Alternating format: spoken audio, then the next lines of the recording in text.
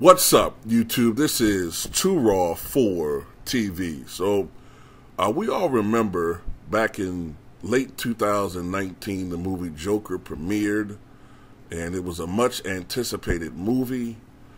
And um, it starred Joaquin Phoenix as Arthur Fleck, who would eventually become, as he succumbed more and more to his mental illness, he would become Joker, who, of course, is, if not one of, the most famous villains, or the most famous villain in comic book history, or in just his, cinematic history in general, uh, cinematic, comic book, whatever.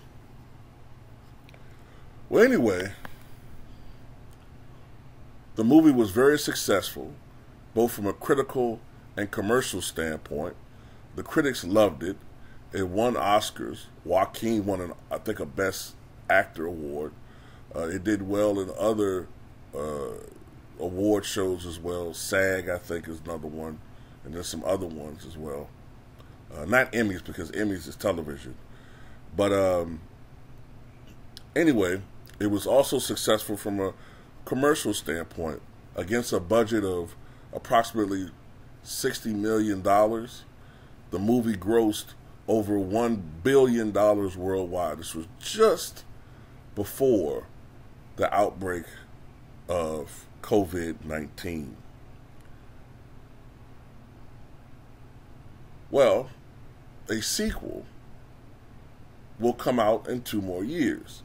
It's slated to come out right now in October 2024, and I believe it's called uh, Joker Folly avec Droit, or something like that. I hope I pronounced it correctly. Let me see if I if I pronounced it correctly. Yeah, Joker Folly à Deux. This Joker Folly à Deux.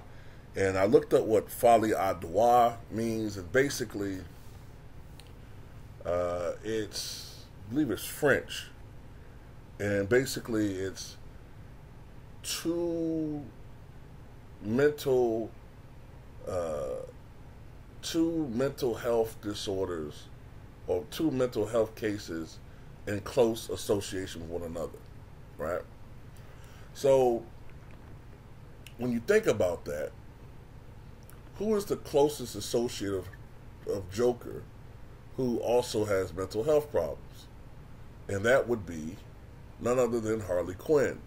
So it's been confirmed that Harley Quinn will be in this movie, uh, but, but but she'll be portrayed by someone different. You know, in the last couple incarnations, she's been portrayed by uh, was it Margot Robbie? I think that's her name, right? Uh, I hope I pronounced it like people names correctly. But anyway, in this movie, she'll be portrayed by Lady Gaga. All right. And uh, this picture you're seeing is the first screenshot from the principal filming, which just started. This shows Joaquin Phoenix being shaved. Uh, I'm assuming at the asylum, Arkham Asylum, that he is being held. So when we look at the comic books, you know, generally, generally speaking, what happened is the storyline is that Joker pretty much seduces Harley Quinn. Uh, she she starts off as, I believe she's a mental health professional. She talks to the Joker, but he plays mind games with her. Begins to realize that she has issues of her own, and she falls in love with Joker. And she also, in some ways, descends into her own madness to the point where you know Joker fully controlled her at the end and had so much influence over her that she succumbed to her own wildest uh, mental uh, delusions and whatnot. So I'm guessing that's going to be in the movie. We don't know, but uh, I'm assuming from this movie that Arthur Fleck is way gone now. He, he's gone. he's going to be full Joker, just about.